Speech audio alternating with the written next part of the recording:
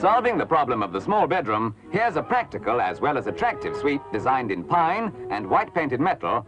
Notice that the dressing table has three storage compartments, while the wardrobe has doors of plasticized fabric that slide up instead of opening out.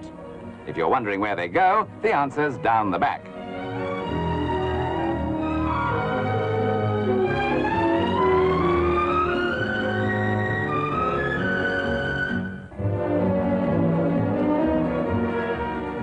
With the tremendous popularity of records, storage space is always a problem. But not with this cabinet designed by Christopher Heal.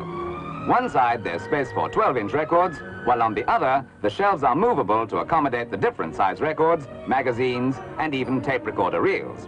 There's even a small drawer provided for keeping a card index of record type.